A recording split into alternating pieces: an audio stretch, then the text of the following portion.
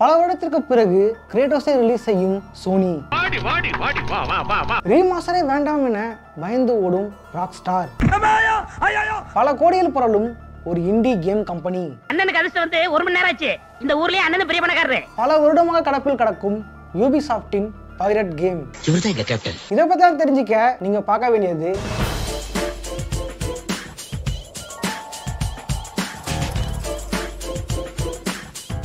A news sorry A to D news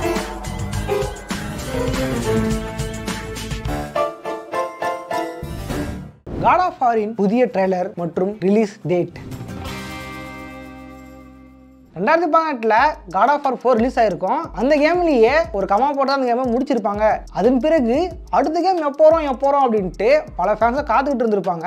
அதுக்காகவே சோனியும் அடுத்த கேமோட பெயர் காட் ஆஃப் ஆர் ராக் அது மட்டும் இல்லாமல் அது இந்த வருஷம் தான் வரப்போகுது அப்படின்ட்டும் சில மாதத்துக்கு முன்னாடி கேம் ட்ரெயிலர் ரிலீஸ் பண்ணியிருப்பாங்க மட்டும் கொடுத்துருப்பாங்க. ஆனால் அவங்க இந்த கேம் எப்போ வரப்போகுது கரெக்டாக இந்த டேட்டில் வரப்போகுது அப்படின்ட்டு சொல்லியிருக்கவே மாட்டாங்க. அது மட்டும் பார்த்தீங்க அப்படின்னா அந்த கேம் இந்த வருஷம் வரப்போகுது தான் ஆனால் எப்போ வரப்போகுது அப்படின்ட்டு பல பேர் தெரியாதனாலையும் சோனி அதுக்கப்புறம் அதை பற்றி பேசாதனாலையும் இந்த கேம் கண்டிப்பாக அடுத்த வருஷம் தான் வரும் அப்படின்ட்டு பல பேர் நம்ப ஆரம்பிச்சிட்டாங்க. இதுக்கு ஒரு முட்டுக்கட்டை போடணும் அப்படின்றதுனாலயே இந்த கேமோட டெவலப்பரான சாண்டா மோனிகா காட் ஆஃப் ரகமாக்காக ஒரு சினிமாட்டிக் ட்ரெய்லரை ரிலீஸ் பண்ணியிருக்காங்க. இந்த கேம் எப்போ வரும் அப்படின்றதையும் அனௌன்ஸ்மெண்ட் பண்ணியிருக்காங்க.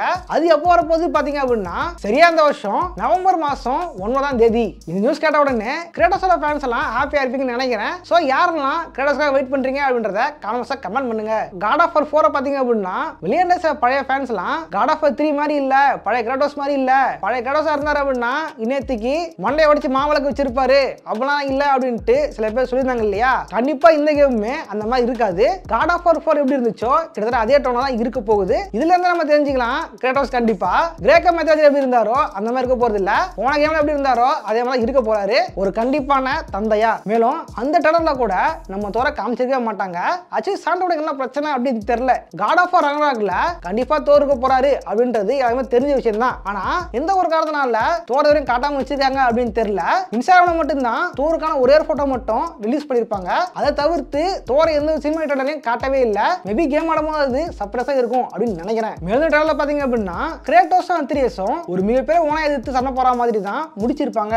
இந்த தோர் பாத்தீங்க அப்படின்னா தோடுறாங்களா ஆஃப் கணக்கு தானே ஆக்சுவலி சோல்ஜர்ஸ் இந்த நார்ஸ் மெத்தடை பத்தி யாராவது படமோ இல்ல கேம் எடுத்தாலும் சரி இந்த ரகன் ராக் அப்படின்ற பேரடா கொண்டு வந்துறாங்க. இப்படிதான் பாத்தீங்க அப்படின்னா Thor Ragnarok assassin Creed டாட் ஆஃப் ரகன் ராக் இப்ப காட் ஆஃப் ரகன் ராக் எனக்கு தெரியும் ரகன் ராக் அப்படின்றது நார்ஸ் மெத்தாலஜில மிகப்பெரிய ஈவெண்ட் தான். அதுக்காக எல்லாத்துக்கும் ஒரே பேர் வச்சா எப்படி? ஏதாவது பேரை மாத்திருக்கீங்க எனக்கே குழப்பமா இருக்கு. ஸோ முடிஞ்ச அளவுக்கு கேம் ரிலீஸ் ஆன உடனே இதுக்கான கதையை போட கண்டிப்பா ட்ரை பண்றேன். ரீமேக்கே வேண்டாம் என தெரித்து ஓடும் ராக் ஸ்டார் இப்போ கரெக்டாக பார்த்தீங்க அப்படின்னா ராக் ஸ்டார் அவங்களோட பழைய கேம்களை ரீமேக் பண்ண தயாராக இருந்தாங்க. அதில் முதல்படியாக தான் அவங்க ஜிடி ரெவடி எடிஷனை ரிலீஸ் பண்ணியிருந்தாங்க. அதுக்கப்புறம் அவங்க அவங்களோட பழைய கேம்ஸ் எல்லாமே ரீமேக் பண்ணலாம். இல்லை அப்படின்னா ரீமாஸ்டர் பண்ணலாம் அப்படின்ட்டு ஐடியா பண்ணி வச்சிருந்தாங்க. ஸோ அதன்படி தான் ஆர்டிஆர் ஒன்றும் ஜிடிஎஃப் ஒருமே ரீமேக்காக தயாராக இருந்துச்சு. ஆனால் இப்போ பார்த்தீங்க அப்படின்னா ராக் ஸ்டார் இவனோட பழைய கேம்ஸை ரீமாஸ்டர்லாம் பண்ண வேணாம். ஒழுங்கா அடுத்த ஜிடிஏ கேமை உருவாக்கலாம் அப்படின்ட்டு பிளான் இருக்கிறதா சில முக்கியமான இடங்கள்ல இருந்து ஒரு முக்கிய செய்தி கிடைச்சிருக்கு. இதுல இருந்து பாத்தீங்க அப்படின்னா ராக் ஸ்டார் ஆர்டிஆர் ஒன்னையும் ஜிடிஎஃப் ஓரையும் ரீமாஸ்டர் பண்ண வேண்டாம் அப்படின்ட்டு இப்போ ஐடியாவுக்கு வந்திருக்காங்க. அவங்களோட முழு கவனத்தையுமே ஜிடிஏ சிக்ஸுக்கு தள்ளி வச்சிருக்காங்க. இவனே எல்லாம் ஆம்பளைங்க மாதிரி தான் போஸ்ட்ரே திங்குற மாதிரி. ஐயோ. இதன் காரணம் பாத்தீங்க அப்படின்னா ஏற்கனவே ஜிடிஏ சிக்ஸ் ரொம்ப டிலே ஆயிருச்சு. இதுக்கப்புறம் கூட ஜிடிஏக்கான அடுத்த ரிலீஸ் பண்ணலாம் அப்படின்னா அது எங்க தப்பா போயிடும் அப்படின்றதுனால தான் ராக் ஸ்டார் இந்த முடிவுக்கு வந்திருக்காங்க. சரி ஓகே ஜிடிஏ சிக்ஸ் வர்றது நல்ல விஷயம் தான் அதுக்காக பழைய கேம் சரி மாஸ்டர் பண்ணக்கூடாது. அது வந்து நல்லா இருக்காது அப்படின்னு பாத்தீங்க அப்படின்னா அப்படி இல்லவே இல்ல. ராக் ஸ்டார் பழைய கேம்கள்லயே ரொம்ப நல்ல கேம்கள்லாம் இருக்கு. உதாரணம் சொன்னோம் அப்படின்னா இப்ப நிறுத்தப்படா சொல்லப்படுற ஆர்டிஆர் ஒன்னா இருந்தாலும் சரி ஜிடிஏ ஃபோரா இருந்தாலும் சரி எனக்கு ரொம்பவே பிடிச்ச கேம்கள் நல்ல வேலை. மேக்ஸ் பேன் ஒன் இன் டூவையும் ரெமடி கேம்ஸ் டெவலப் பண்றத சொல்லியிருக்காங்க. அந்த கேம்ஸை ராக்ஸார் பண்ணல. ஒருவேளை இவங்க பண்ணியிருந்தாங்க அப்படின்னா அதையும் அவங்க ஸ்டாப் பண்ணிருப்பாங்க ஸோ ராக் கேம்ஸ் வெறும் பப்ளிஷ் பண்ண பண்றதுனால மேக்ஸிமம் ரீமாஸ்டர் விஷன்ஸ் கண்டிப்பா வரதான் போகுது. நல்ல வேலை அதெல்லாம் ஸ்டாப் ஆகல. ராக்ஸார் எப்படியாவது மேக்ஸ் ரிலீஸ் பண்ணி தொலையா? ஸோ கண்டிப்பா Max Payne one and two remaster Payne நல்லபடியா வரும் அப்படின்னு நினைக்கிறேன். ஒருவேளை அவங்க ஆர்டர் ஒன்னையாவது ரீமாஸ்டர் பண்ணிருக்கலாம் இருந்தாலும் பரவாயில்ல. ஹலோ பாஸ் இதுக்கே கவலைப்படுறீங்க? அதான் தமிழ்ல ஆர்டர் வரப்போதே பாஸ் என்னது எடிட்டர் எதை சொல்ற? பாஸ் இதை பாருங்க. பணமொழியில் குவியும் குடும்பங்கள் கொண்டாடிய கேம். போன வருஷம் மார்ச் மாசம் இருபத்தஞ்சாம் ரிலீஸ் ஆன கேம் தான் இட் டெக்ஸ் டூ இந்த கேம் பாத்தீங்க அப்படின்னா பல அவார்ட்ஸ் நாமினேட் ஆகியிருந்தது. பல அவார்ட்ஸ் அது வின் பண்ணியிருந்தது. உதாரணம் சொன்னா அப்படின்னா game of fair award British அகாடமியோட best multiplayer award அப்புறம் பெஸ்ட் ஃபேமிலி அவார்ட் போதும் போதும் போதும். லிஸ்ட் பெருசா போய்கிட்டு இருக்கு. கிட்டத்தட்ட இந்த கேம் அஞ்சு அவார்ட்ஸ் வாங்கியிருக்கு. பல அவார்ட்ஸாக இது நாமினேட் செய்யப்பட்டிருந்துச்சு. ஸோ இப்படிப்பட்ட கேம் பாத்தீங்க அப்படின்னா இந்த மாசத்துல செவன் மேல் காப்பீஸ்க்கு மேல வித்து தீத்துருக்கு ஸோ இந்த ஒரு விஷயத்த இந்த கேமை டெவலப் பண்ணியிருந்த ஹேர்ஸ்லைட் ஸ்டுடியோஸ் அதிகாரப்பூர்வமா தெரிவிச்சிருக்காங்க. இந்த விஷயத்தை இவங்க செலிப்ரேட்டும் பண்ணியிருக்காங்க. ஸோ இவங்களுக்கு வாழ்த்துக்கள். ஆக்சுவலி செவன் மில்லியன்ல நான் வாங்க ஒரு காப்பி இருக்கும் அப்படின்னு நினைக்கிறேன். அதுக்கு என்னங்கிறப்ப ஆக்சுவலி இந்த கேம் ரொம்ப நல்ல கேம் தான். அது மட்டும் இல்லாமல் இது ஒரு கோப் கேம் வேற. அமெரிக்காவில் சில பேரண்ட்ஸ் இப்படி தான் இருக்காங்க அப்படின்றதையும் இந்த கேம் தோல்விச்சு காமிச்சிருக்கோம். அது மட்டும் பார்த்தீங்க அப்படின்னா இந்த கேமோட கான்செப்ட் தங்களுக்குள்ளே அடிச்சுக்கிட்டு டைவர்ஸ் அப்ளை பண்ற ரெண்டு பேரண்ட்ஸ் இவங்க பிரிஞ்சிடக்கூடாது அப்படின்ட்டு ஃபீல் பண்ற ஒரு சில்ட்ரன் இந்த சில்ட்ரன் பார்த்தீங்க அப்படின்னா எப்படியாவது அப்பா அம்மா ஒன்று சேரணும் அப்படின்ட்டு ஒரு புக்கிட்ட சொல்லியிருக்கோம். அடுத்த நிமிஷமே அப்பாவும் அம்மாவும் ஒரு பொம்மையா மாறி இருப்பாங்க அங்கிருந்து தப்பிச்சு போனோம் அப்படின்னா ரெண்டு பேரும் சேர்ந்து ஒர்க் பண்ணோம் அப்படின்றதுனாலயே ரெண்டு பேரும் சேர்ந்து ஒர்க் பண்ணியிருப்பாங்க.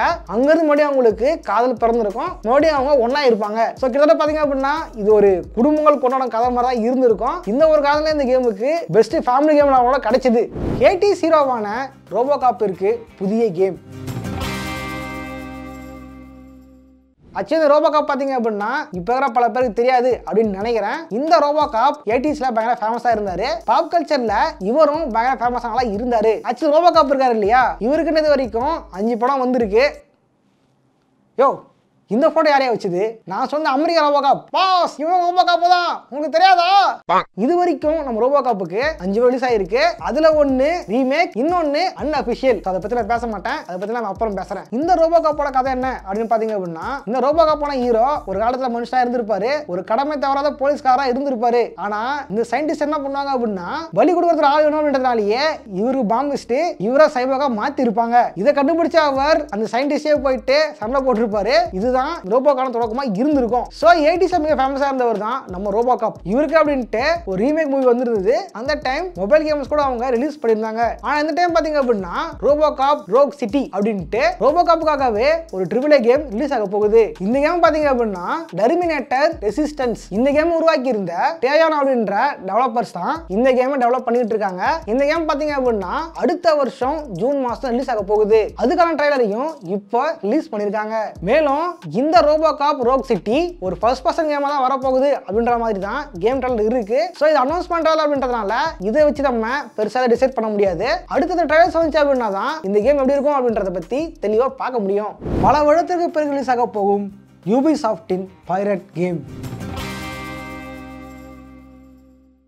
skull and bone. இந்த கேம் பாத்தீங்க அப்படின்னா யூபி சாஃப்ட் சிங்கப்பூர் டெவலப் பண்ணிட்டு இருக்க ஒரு முக்கியமான கேம் இந்த கேமுக்கான முதல் அனௌன்ஸ்மெண்ட் ட்ரைலர் ரிலீஸ் செய்யப்பட்டது ரெண்டாயிரத்தி பதினேழு e இ த்ரீல ஆனா இந்த கேம் எப்போ வரும் எப்படி வரும் அப்படின்னு மட்டும் இவங்க அனௌன்ஸ் மட்டும் பண்ணல. அது மட்டும் இல்லாம இந்த கேம் இவங்க கடப்பூர் தான் போட்டுருந்தாங்க தவிர இதை ரிலீஸ் பண்ற ஐடியாவிலே அவங்க சுத்தமா இல்லவே இல்லை. அப்பப்போ மட்டும் ட்ரைலர்ஸ் ரிலீஸ் பண்றது இதை பத்தி லீக் போடுறது அப்படின்ட்டு தான் இருந்துச்சே தவிர இந்த கேம் எப்போ வரும் எப்போ வரும் அப்படின்ட்டு தான் பல பேருக்கு தோணிட்டு இருந்துச்சு. ஸோ இந்த கேமுக்கான ஓவர்வியூ ட்ரெய்லரை இப்போ யூபி சாஃப்ட் ரிலீஸ் பண்ணியிருக்காங்க இதில் பார்த்தீங்க அப்படின்னா இந்த கேம் எப்படி இருக்கும்? அது மட்டும் இல்லாமல் இந்த கேம் எப்படிப்பட்ட கேம் அப்படின்ட்டுலாம் அதை சொல்லியிருக்காங்க. அது என்னென்ன அப்படின்னு பார்த்தீங்க அப்படின்னா இந்த கேம் கிட்டத்தட்ட அசாசின் ஸ்கிரீட் பிளாக் ஃபிளாக் மாதிரி தான் இருக்க போகுது. உண்மை சொல்லலாம் அப்படின்னா அசாசின் ஸ்கிரீட் பிளாக் ஃபிளாக்ல ஹீரோ ஒரு கேம் கம்பெனியில் ஒர்க் பண்ணிட்டு இருப்பாரு அந்த கேம் கம்பெனில தான் ஹீரோட முன்ஜென்மம் என்ன அப்படின்றத அனிமேஷனில் பார்த்து அதுலேருந்து அவங்க கேமை உருவாக்கிட்டு இருப்பாங்க இன்னும் இதுவும் கேள்விப்பட்ட மாதிரி இருக்கு.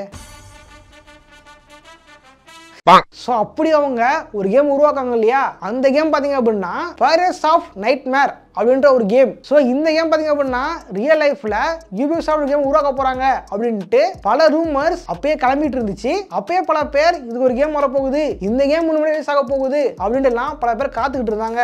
அந்த பைரட்ஸ் ஆஃப் நைட் மேர் அந்த கேம் தான் இந்த ஸ்கல்லன் போன் அப்படின்ட்டு ஒரு சிலர் சொல்லிக்கிட்டு இருக்காங்க. சரி ஓகே யோசிச்சு பார்த்தோம் அப்படின்னா இது ஒரு நல்ல யூஸாக தான் இருக்கு. மற்றபடி பார்த்தீங்க அப்படின்னா இதுல நீங்க ஒரு பைரட்டா இருந்து மற்ற கப்பல்களையும் கோட்டைகளையும் கொள்ளடிக்க முடியும். அது மட்டும் இல்லாம டீமா சேர்ந்துட்டு நீங்க உங்க எதிரி கப்பலை கொள்ளடிச்சு அதுல இருந்து புதையலை எடுக்க முடியும். மேலும் இது மட்டும் இல்லாம இது ஒரு ஓப்பன் வேல் கேமும் கூட. சரி ஓகே. இத்தனை சிறப்பு அம்சங்கள் இந்த கேம்ல இருந்தாலும் இதுல ஒரு சின்ன குறை என்ன அப்படின்னு பாத்தீங்க அப்படின்னா இந்த கேம்ல கேம்பெயினே இல்ல. அதாவது இந்த கேம்ல ஸ்டோரியே கிடையாது. நீங்களே தான் ஒரு கேரக்டரை கிரியேட் பண்ணிக்கணும். அந்த கேரக்டரை வச்சு நீங்க மத்த ஆளுங்கிட்ட போயிட்டு சண்டை போடணும். இல்ல அப்படின்னா நீங்க டீமை சேர்த்துட்டு கூட ஓடி நீங்க சண்டை போடலாம். சரி ஓகே. இந்த கேம் நல்ல கேமா இல்ல நல்ல கேமா அப்படின்றது இந்த கேம் தான் தெரியும். ஆனா இந்த கேம் ரிலீஸ் ஆக போகுது இல்லையா? அந்த டைம் அது இந்த கேமுக்கு ஒரு நல்ல டைம் இல்ல. ஏன் சொல்றேன் பாத்தீங்க அப்படின்னா இந்த கேம் ரிலீஸ் ஆக போறது இந்த வருஷம் நவம்பர் எட்டாம் தேதி. சரியா அடுத்த நாள் தான் காட் ஆஃப் ரிலீஸ் ஆக போகுது. சோ பிளேஸ்டேஷன் பிளேஸ் எல்லாருமே கண்டிப்பா காட் ஆஃப் தான் வாங்குவாங்க. அதை வாங்கிட்டு இதை வாங்குவாங்களா அப்படின்றது மிகப்பெரிய டவுட் தான். மத்த கன்சோல் இல்ல பிசி கேமர் சொன்னா இந்த கேம் வாங்கி விளாடாமே தவிர PlayStation players God of வாங்கிட்டு இந்த கேம் வாங்குறது கொஞ்சம் டவுட் தான். சரி ஓகே இந்த வருஷத்துலயாவது யூபி சாஃப்ட் இந்த கேம் ரிலீஸ் பண்ணுவாங்களா அப்படின்றது பொறுத்துட்டு தான் பார்க்கணும்.